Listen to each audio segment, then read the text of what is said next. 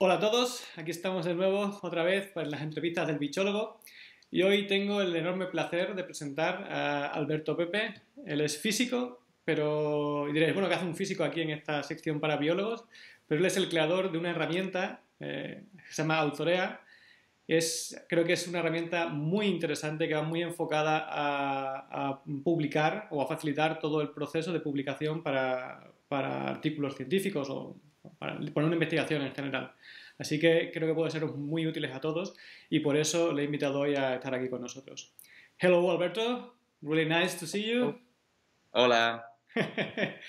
Good Spanish. I know you speak a little bit of Spanish, but uh, some Spanish. Some Spanish. But it's better just for it's easier for both of us just uh, to make this interview in English. So my readers, so my readers uh, have the chance to see that it's very important just to learn this language, that is science language.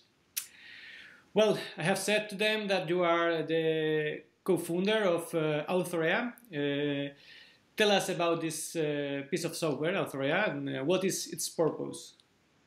Yeah, sure. So I, uh, first of all, as you said, I'm a physicist. Uh, my background is in astrophysics and information science. I did a, a lot of data science as well. And I created the platform, I created Authorea because I I needed it. So I was uh, a researcher myself. Uh, after doing a PhD and a postdoc, I was writing a lot of research papers, and I realized that I was uh, struggling writing research papers.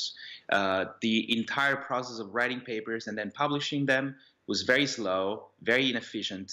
Uh, it was built on top of uh, very obsolete tools. Uh, so I decided to try and imagine what the future of scientific communication could look like. And uh, I said, well, if we had to like build a new platform that would allow uh, for the paper of the future, the scholarly article of the future to exist, what would it look like? And that's pretty much the beginning of Authorea. So I created it out of personal frustration uh, with my own work, with my own uh, way of doing research. So I know that you have a few questions, but you know, just in a nutshell, Authorea is a collaborative editor, uh, mostly for researchers, scientists, students, anybody who's writing um, an article that is either going to be published or maybe it's an article for a class. So any uh, any document, it could be like one page, two page long. It could be very long. It could be a dissertation anything that has citations and references, for example, so it, it cites external work, uh, or anything that includes uh, mathematical equations, uh, tables, uh, and most importantly, also data and source code. In our new way of um, imagining the article of the future, like uh, science, the science of the future, uh, we think that data and code are going to be fundamental elements that are going to be included they are going to be part of the uh, of the, the paper of the future. I think it's a great idea, very powerful, but uh, and it's it's great that it just was born because the, the one of your personal needs. I think is is a, a nice way to solve your, your own problems and to help uh, yep. the rest of the researchers. Well, uh, you have said that it's a collaborative platform, but uh, talk, uh, tell us about the main features that uh, we can find in Authorea. Yeah. So um, the, the the most the the platform itself is uh, an editor. So it's a word processor the same way that you think uh, Word or Google Docs. So it's a it's an online environment where you can where you can write text, and of course, in addition to a simple text, you can also make the text bold, you can make it italic, you can make lists, uh, you can make quotes. So it allows you to uh, to write a very uh, um, uh, to allow it, allows you to write, and also it allows a minimal set of features uh, for formatting. And we try and restrict the features to just the minimal set of features that are just what you need to write a, a scientific article. We don't allow you right now, for example, to like really change your font size or change your font type because that sort of stuff is actually not found in scholarly article. So we give a very restrictive uh, set of uh, tools and features. Um, if you've seen uh, or used a blogging platform called Medium, I don't know if you've seen it before, but the idea is that they also try and restrict the amount of stuff that you can do.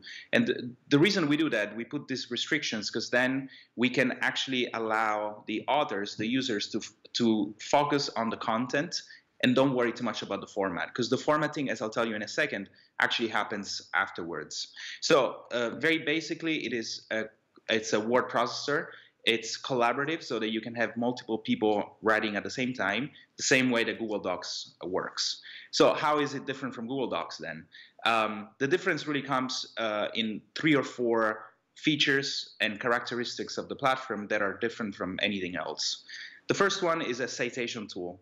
So if you're looking, for, for example, for a, a certain paper by a friend of yours or a colleague of yours or an important uh, biologist, uh, while you're writing, you can just click a citation button and that pulls up a search bar and you can type in uh, a keyword, an author name, anything you like, and we search the web. So we search every single paper uh, that is available out there, and you're able to just click on it uh, or pick a couple of different ones, select them, and then we create the citation uh, for you, the citation and the references. So you don't have to like go go ahead and like create your own bibliography, assemble the references, format them according to given style. We do all of that for you. And that's a very easy way to access citations from, you know, from the web. Uh, if you also use a citation manager, uh, things like EndNote, Mendeley, Zotero, we also integrate with all those tools so that we really make it easy for you to, uh, to handle and find citations and references. So that's the first big feature that we offer. Uh, the second one is around uh, more technical content like mathematical equations. Um, you might uh, there's some people in physics, for example, they use uh, LaTeX, which is a typesetting format, it, it, which is especially good for uh, mathematical notation. So if you want to insert snippets of LaTeX, you can also do so, and we have a very powerful engine that again renders everything to the web. So there's not compilation necessary. So everything is becomes a web page. Every article is a web page. Um, so uh, tables, mathematical equations. Um, then the other important thing that we have is the data hosting uh, idea. So um, uh, every single article that you start in Authorea is a Git repository. Now, Git is a version control system that is used by developers, mostly software developers, to work together on on code. And even though it's it was really written for developers for source code, we actually use it to version control uh, documents. So in other words, it's like something like track changes, the what Word has, but really built natively uh, inside the platform. This allows people to really see what's changed on a document you know, uh, from the last time you logged in. So you can really, really easily see, you know, who's working on what and what's changed in the, in the document while you were not on it. Um, but this idea of like using Git also allows us to um, allows people to put more than just text and images into a document. So you can add things like data set. You know, if you have a, a data set uh, that it relates to your figure, you can add your data, and so your article becomes uh, an online document that um, first of all looks like a like a, a, nice article. It's on the web. It's a web page. You can link it, and it's always the last version. You don't have to like send a Word document back and forth by email. And in addition to text and images, it also contains uh, it can contain data, source code, and all the different materials that you might have produced um, in you know in, in your research. And the last thing I want to mention is that, of course, we also worry about uh, formatting and a lot of people, you know, when they're writing a paper, then they have to send it to a to a journal. So we have a couple different ways to um, to allow people to publish their work. Uh, they can, of course, publish it uh, uh, on Authorea, so they get a DOI, so they essentially publish their work and they can get cited for it. Um, or they can also submit it to a publisher. And just so you know, uh, we are now integrated with some uh, journals. The first journal we integrated with actually is eLife, which is a, journal in the in the life sciences. Uh, they publish a lot of biology um, articles, so you can automatically submit in just one click your paper to eLife. So you don't have to go to the submission system, put in all your metadata, all your author information, uh, uh, all your figures separately. We do all of that for you. So you just click a button and you submit directly your work to uh, to a journal. And also, I should mention that uh, you don't have to like format your references according to a specific style and things like that, because we do all of that. Uh, we do in the backend, so we do it for you. You don't have to like worry about formatting your paper according to uh, to a given style. So I know that that was a lot, but those are the main features that the platform offers. I think there are really good features. I think the everyone who has uh, writing on a scientific paper, I think that we have we all have to struggle with a double check if the citation has its reference in the in the bibliography, and uh, then you send to a, a journal and it's it's rejected, so you have to format again for the next one. So it's something that drives you totally crazy and make you lose tons and tons of time. So it's a it's a really really really great way to to smooth all this uh, workflow and make it easy and, and, saving a lot of time. Really really interesting features. Well, you have told uh, you have told us about uh, why did you create Authorea, but uh, explain a little bit more how how you make this problem you had uh, with your workflow and how you, did you convert in this Authorea thing? What, what, was the process that made you say, damn, I have to do something with this? Mm-hmm. So um, I think that uh, a couple things happened. The um, I think that I was doing a lot of uh, in my own research. I was doing a postdoc at Harvard. That's like three years ago. And in my own research, I was doing a lot of data analysis. So I was using um, R, IPython notebooks, and other tools to manage and uh, process my data. Uh, and I was also creating sometimes, uh, I was writing scripts uh, to uh, produce interactive visualizations. Um, I was using d3.js, which is a, a, library to create very nice interactive graphics. Um, and what I was seeing is that I was spending a lot of time and I was really enjoying the process of working with data. But then the moment that I had to start writing a paper, all that beautiful visualizations that I created could not exist anymore because a publisher will only publish a PDF. So a PDF, unfortunately, is just a photograph of a piece of paper. It doesn't really have much more. You cannot do interactive stuff with it.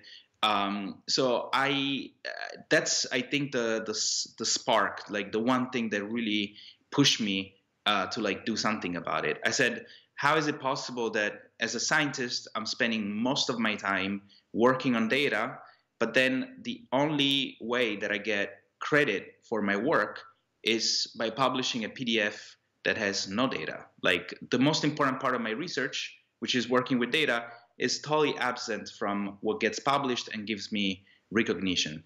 So um, that's that's the beginning of it. I said there must be a way to truly uh, have papers that con- you know that contain data you know to rethink papers and have them like be data driven uh, executable um, uh, elements or components whatever you want to call it.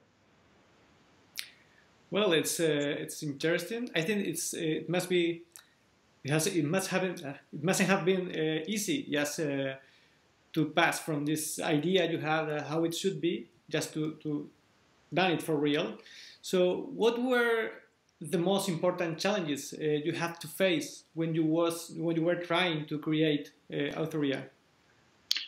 So um, I um, my background is in physics, so I'm not a developer. I'm not a web developer, uh, and uh, uh, what I did was I talked to a friend of mine uh, who's also not a web developer. He's a physicist like me. His name is Nate, and he's uh, he's from California. So I met him a long time ago when I was working at CERN in Geneva. So I was doing um, high energy physics work, and um, he was a good friend. And uh, I told him about the idea, and he, he was excited. He was excited about the idea. He maybe at the time uh, he did not have all the tools and all the technical knowledge to build a platform from the ground up. but he was excited about it. So he's more technical than me. He's much better than me at developing. Um, but he told me like, hey, let's give it a try. Instead of instead of trying to um, you know spend too much time thinking about it, why don't we just go ahead and like we start building it? Uh, so he spent some time studying uh, Ruby on Rails, which is a, a platform for um, uh, it's a programming language for building web apps, and uh, I really I got into that as well, um, and uh, we started developing together. Uh, I was mostly doing part of the front end, and he was doing the back end uh, work. Um, and then with the passing of the time, he became so much more uh, capable than me, and you know, so it was natural for him to become the person that does most of the heavy lifting when it comes to development, and I was worrying a little bit more about the uh, all the other sides of the uh, um, of the project, uh, things like talking to you so that you know we get more people interested, or uh, talking to press, uh, of course, running the business. Uh, and you know, doing marketing, PR, and so that's that's that's been the case since the very beginning. So for the last three years now, we've been working together, uh, and uh, yeah, so we started off, just to summarize, we started off knowing uh, very little about web development. We, you know, but we're scientists, so I guess that we can figure things out. Uh, and then the team went from being just the two of us to uh, hiring um, our first engineer, and then from then on, we now we have a team of ten people. Uh, and the vast majority of them are engineers actually. So six out of ten are engineers, and then we have one product product person uh, and uh, one marketing person. But roughly, we're all um, we're a heavy engineering company. I see. It's an interesting journey. but well, uh, uh, you just said that uh, you began as uh, from zero. I mean, you almost have no knowledge, and you have created something quite big and complex. But uh, I guess that the money must be important for this. How did you get the funding to, to do all this stuff? Because I mean, you, you are a, a physicist and the other co-author is also too. So you need some something some money to get uh, to get some money for, for all this stuff, and I, I guess it's not easy. It's not cheap. Yeah. So um, we uh, initially uh, I tried to uh, to get funding from um, from an academic or research based uh, environment. So I applied for two different grants. Uh, um, I think it was a NASA grant and an NSF grant. So some I tried to get uh, money from you know the American government pretty much. Uh, but the my proposals didn't go through; they got rejected. Um, and actually, I was very annoyed that the reviews that I got uh, uh, from the from the um, from NSF and NASA were very disappointing. Like they lacked to see the potential and the vision of what we're trying to do. So I said, well, you know, if I cannot make this work from within academia, then I can probably try and make academia better from outside of academia. So I I looked around. I was really um, motivated, and I really wanted to to do this to make this happen. Um, so it clearly was not easy to like leave academia because my even my uh, my work and my the fact that I was here in the states was linked to the fact that I had an academic job. I had a job at Harvard, and they they were you know they were taking care of my visa, my health care, my salary, everything. So I I started exploring around to see whether there there were other routes of uh, starting a company uh, without you know having it as, a, as an academic project. And uh, I came to New York from Boston, and I looked around for uh, for investors. So I also had to learn a, a, new thing besides development. I also had to learn about how to raise money uh, from uh, angel investors, from venture capital firms, uh, and the the great thing is that I actually could convince some investors that this is a very solid. It's not only something that is good for science and academia, but he also has a solid uh, uh, business uh, backing. So there's a, there's an important business um, uh, that can be built around this, and and that's actually a great thing. A lot of people, uh, you know, from the academic uh, environment, to think that it's it's not a good idea to like blend, you know, business with academia and science. But I am actually opposed to that idea, uh, and I'll tell you why. Just two things. First of all, I think that um, it's a great thing that private investors are so interested in making science and academia better. Uh, even, you know, of course they do it because there's like a business opportunity, but the fact that they believe in a mission to like make science more modern, that's a great thing. And the second uh, part that I think is good is that um, uh, I think that if if if a business is sustainable, so if it actually can run uh, by itself, that's a great thing, and it's the best way to ensure uh, long-term stability. Uh, of course, we don't want to make a product that people use, and then you know a year from now we're not around anymore. Um, that's bad because you know, of course, there's no more product in a year, and people that were actually using it and liking it, then they're, they don't have it anymore. And unfortunately, a lot of projects that are built on top of uh, grant money, whether it's like you know the National Science Foundation or the European uh, European Union, a lot of times they just you know emerge. You spend a lot of time and resources, and then they die away. But having a business that runs on its own actually is the best way to ensure um, long-term stability. So yeah, that's that's pretty much what I ended up doing.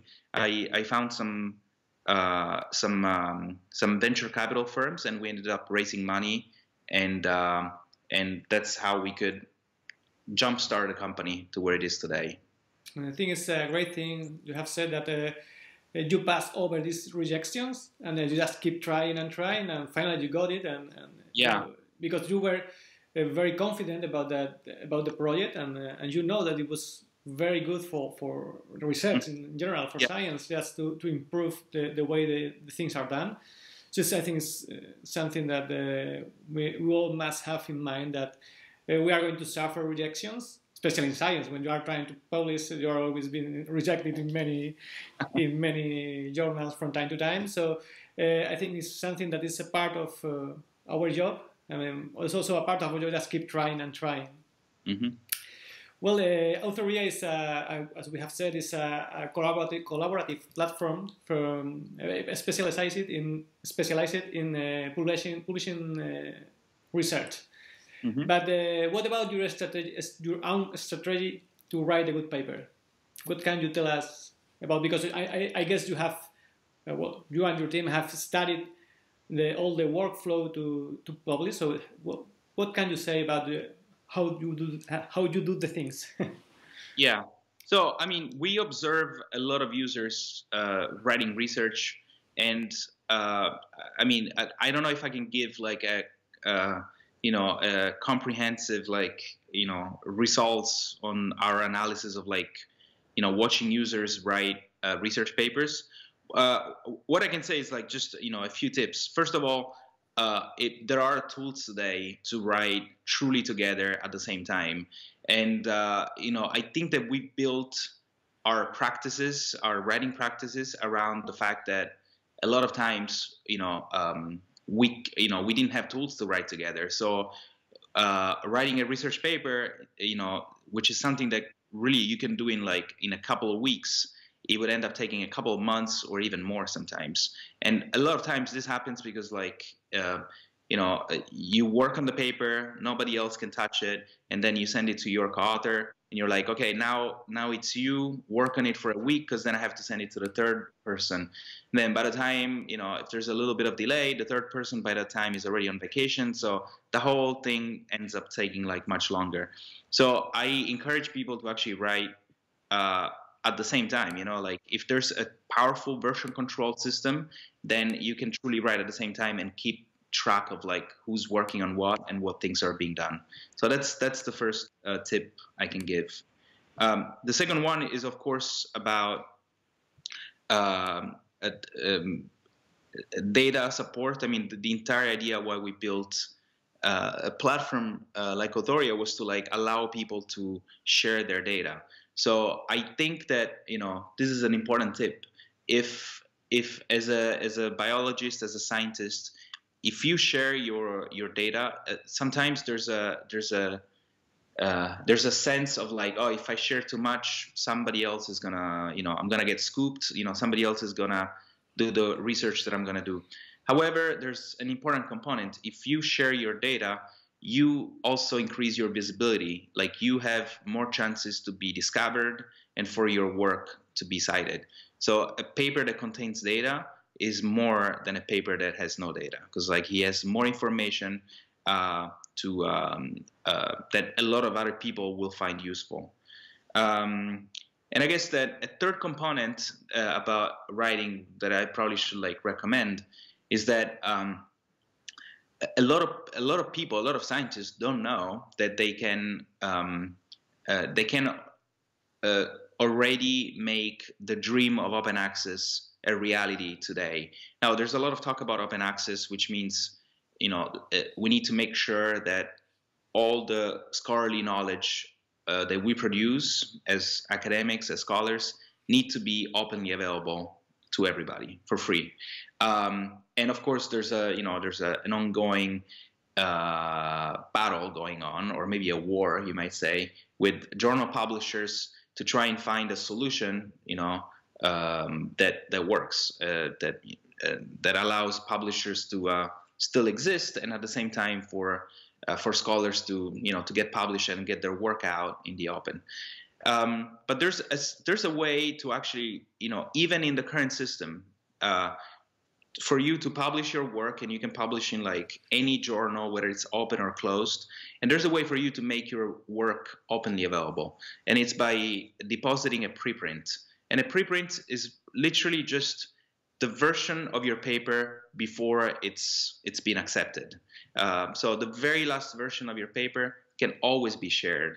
And the great thing about Authorea is that if if your paper was written on Authorea then you already have the last version of your paper and it's it's already there. You all all you have to do is make it public and then all of a sudden you have an open public version um, of your article. Even if it gets uh, then published in a closed journal you might send it to uh, springer elsevier uh, it gets published it's in a closed journal. However you have an open public version of your article uh, available to everybody for free on the web.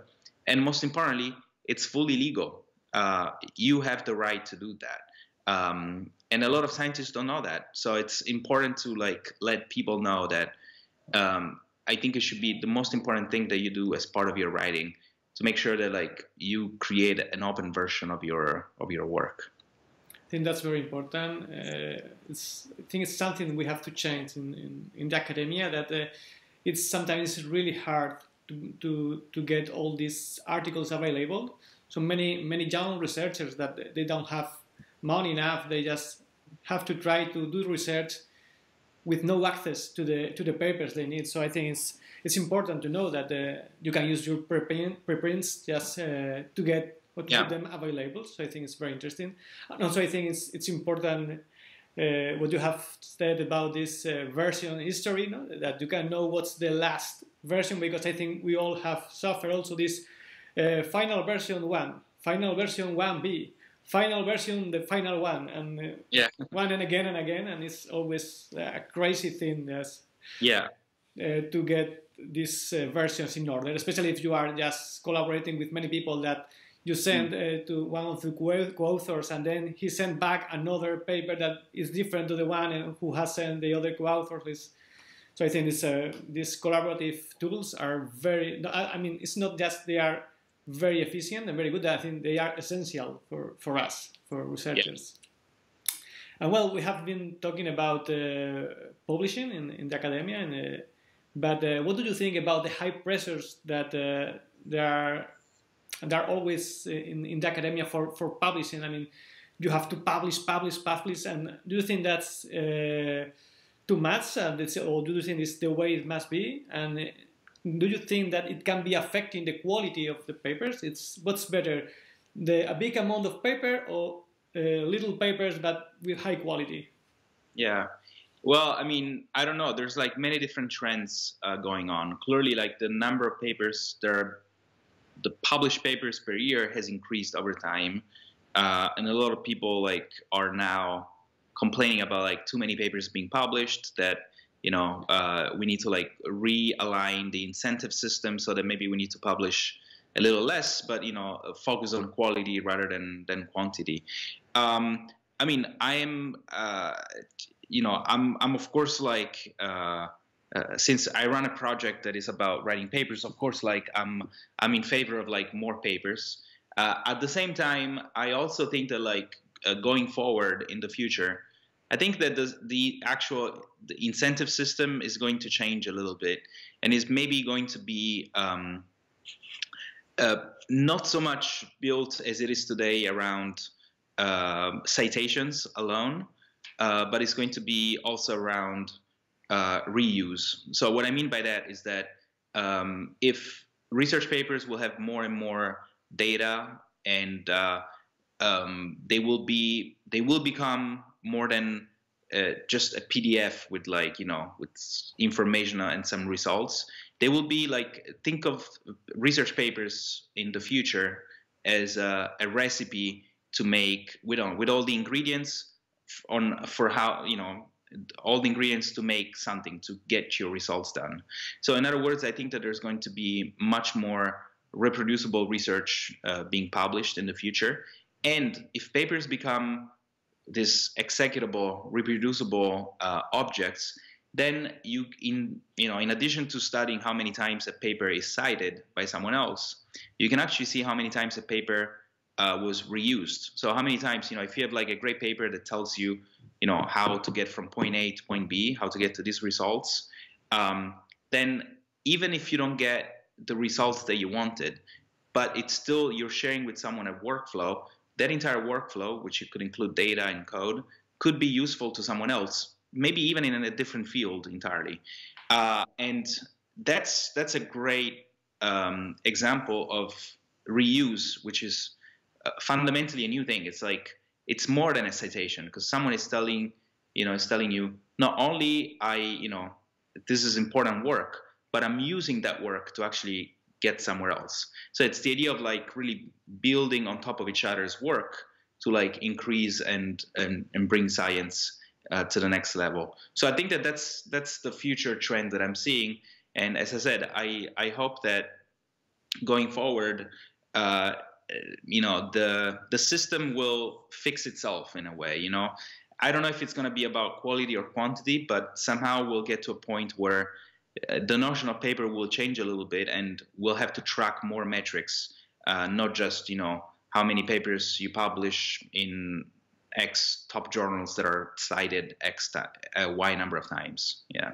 Because i think in the in the last years it's getting a little bit crazy about citations and I think mm-hmm. it's it's uh, a little bit more complex. And uh, and I think it's also with these pressures that there are lately, there are not so many uh, replicates of of a of a research. So we are we are not really validating that this is supposed to be in science. So I think it's it should be like more in the line you are talking about that you can publish not only your your uh, paper or your article that uh, but also the data and all the process so other people can collaborate. I mean, it's, it's not that they are going to steal you, but they are going to co-create with you. You are a part of it also. So I think yeah. it's, a, it's a very nice point of view, and I think science should be at least uh, reinvented in that way a little mm-hmm. bit.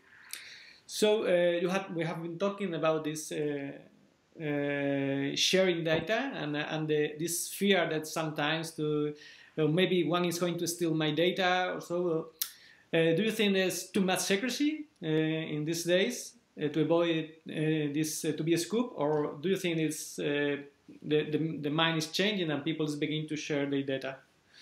Yeah. So I mean, I get that question a lot, right? I mean, we uh, at Authorea we're big proponents of open access and also open science. Open science is the idea that in addition to sharing, you know, your final paper, which could be a PDF, you should also share all the components, every single object that was part of your research process. Um, of course, we encourage people to write in the open in in public. And a lot of you know a question that I get all the time is, well, if I you know if I share all my uh, my article before it is published, somebody's gonna I'm gonna get scooped. Somebody's gonna use my research and publish before me somewhere else. And the reality is that um, I think that the opposite is true. So uh, if you actually write everything in the open and you share your data and you use a platform like Authorea that actually uh, is on the web and is like fully version controlled, so that you even have a timestamp proving that you wrote what you wrote and that you contributed data at a certain point in time. Well, that that's the actual proof that you were the first one doing something. Because like you have you know there's a git repository in the backend that is tracking all the versions and so you know exactly what the uh, the provenance of a, of a research result is fully documented. Uh, so i think that that's the best way to actually prove that you are the owner of an idea. However if you do things in a closed private environment uh, then if you get scooped, if actually gets if someone gets your data, well then they can actually like they can go ahead and like publish it somewhere else and then you have no control. You have no way to actually prove that you were the first one uh, doing something. So I think that there's clearly a cultural uh, um, change that needs to happen, and I think that it's with you know I we see that trend with younger and younger people that are now you know the young people that are becoming PhDs or postdocs that have that come from a a, a mindset uh, that is is all about sharing. You know, they use social media and they use uh, you know new platforms that are built around the idea of sharing. So I think that science will will follow that that sort of trend that you know sharing doesn't necessarily mean that you're uh, you're giving your research away and you're losing um, ownership on on your on, on your ideas. So that's I, I think that that's that's the way forward, and that's the way to like uh, avoid discussions around you know uh, secrecy and like oh my data was stolen. what do I do? I, I mean I think that's that's my hope. Of course, there's some data that cannot be shared because like it's it's actually like for ethical purposes, for example, or for privacy issues, sensitive information of all kinds. And in, uh, of course, Authorea is not just about writing in the open. You can, of course, make your uh, articles private at any point in time. And we're um, we're very much concerned. We're paranoid about security and privacy. So we make sure that, like, if you make your article private, it's fully private. It's not indexed by any search engine. It's not available to anyone but just you. So so uh, uh, one question about this. Uh, can you mm, write your paper in uh, private and then, uh, for example, with this uh, with this final preprint, make it public? Exactly. Yeah, that's what a lot of people do. They start their paper in private, and then when when they submit it to a journal, they open up a, the paper and they put in the you know they, you can also add publication information. So you can say it was submitted to you know eLife, uh, and um, and then once it gets accepted, you know you change your the metadata so that you can you know you can do that uh, fully transparently. Yeah. Really nice. So uh, also has, uh, I mean, it's, it's, a platform that you can use for free with some limitation, but totally for free with uh, all the features. But uh, in what circumstance uh, do you think it could be interesting for uh, for anyone, like for example the the people who read this blog, to get a premium plan for Authorea? What does it offer? Yeah, so I mean, as you said, the platform is uh, free uh, to use. Anybody can sign up and create unlimited articles um, on on the platform. The you know uh, we charge for premium features, so there's some extra features that we charge for, and the features are first one, the most important is private hosting of your articles. So if you sign up with a free account, you get only one private uh, document. If you need more private documents, um, then you know that's what we charge for. So you you know you uh, you have to you have to create a um, as you you make a subscription and you get unlimited private articles. So the first one is private hosting, and then there's a couple of other ones. The um, one is uh, the ability to issue to create a DOI for your papers. Now, I don't know if people are familiar with the idea of a DOI. It's a digital object identifier. So it's a it's a the the stamp that you put on a on a on a on a paper on a document that it's published. So it allows other people then to cite your paper because a DOI is the uh, is the similar thing as uh, books have ISBN, which is a number that uh, you know uh, identifies uh, with a persistent identifier the, the, that book, and the same thing happens for research papers. So you can now issue DOIs for papers on Authorea. So for example, if you have a student paper that is like three, four page long, and you think it's valid work and needs to be published, you can do so, and you can do so on Authorea. And if you have a premium account, you can get um, you you you can you can do so. You can publish directly your work on uh, on Authorea. And the third one is you get more storage space. So um, if you have a large paper with a lot of collaborators and a lot of data that you want to add, uh, you get up to like one gigabyte in storage if you get a premium account.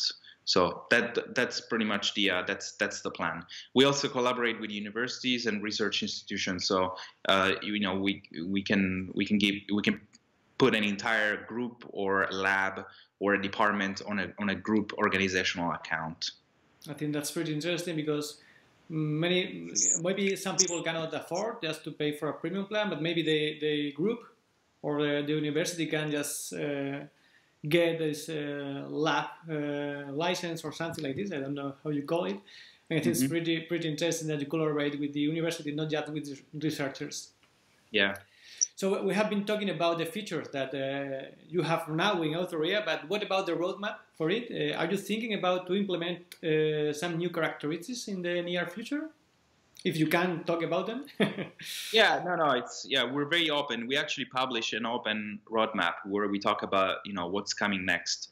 Uh, uh, to be honest like we spent the entire year last year 2016 working uh, obsessively on the product to make sure that we build something that users want and uh, for the next few months we'll still be focused very much on the core product which is the editor. So we need to make sure that we make uh, we make it really easy for people to import their work, to write from scratch, and to have like a, an amazing collaborative experience while they're writing, uh, and then being able to like publish their work to uh, whether it, it is on a journal or on our platform.